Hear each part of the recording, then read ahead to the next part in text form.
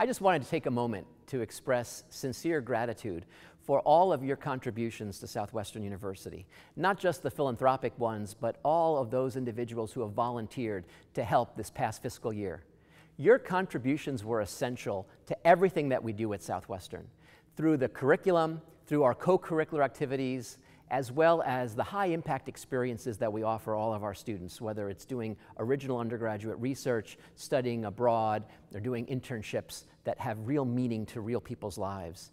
Your engagement is essential as we look forward to thinking about the future of Southwestern and offering the brightest future for all of our students. So on behalf of everyone, I want to express my gratitude for all that you do and invite you to stay engaged.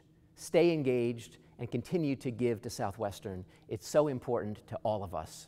Thank you so much, and we'll see you soon.